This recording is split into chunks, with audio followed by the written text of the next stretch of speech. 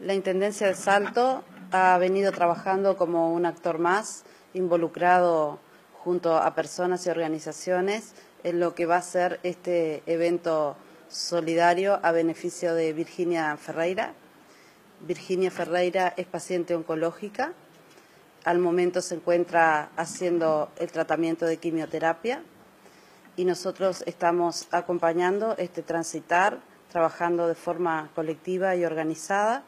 para lograr el mejoramiento de Virginia. Por eso queremos convocar a todos los salteños a que acompañen este evento, este beneficio, el próximo domingo 11 a partir de las 18 horas en Parque Arriague. Va a arrancar hora 18 con Murga Joven, van a actuar La Mezquina, La Cachula y Cantabien Guaranga, después Murga Mayores, La Grandulona y La Nueva,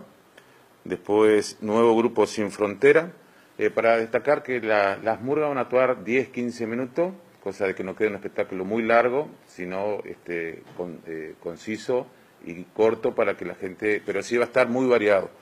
Va a estar nuevo grupo Sin Frontera, después Comparsa Imperio con su, con su show para escenario, este, va a haber más de 40 componentes de su comparsa que van a actuar, después solista Valentín Silveira y Fernando Ábalos, después grupos Zambó Zambó, la 922, La Razón y Sierra Latin Plena. Eso para destacar de que van a arrancar en punto, hora 18, y bueno, vamos a, tratar de que no sea un espectáculo muy largo en duración, sino que sea de buena calidad. Vamos a tener buen servicio de cantina, como dice ella, van a haber un buen sonido.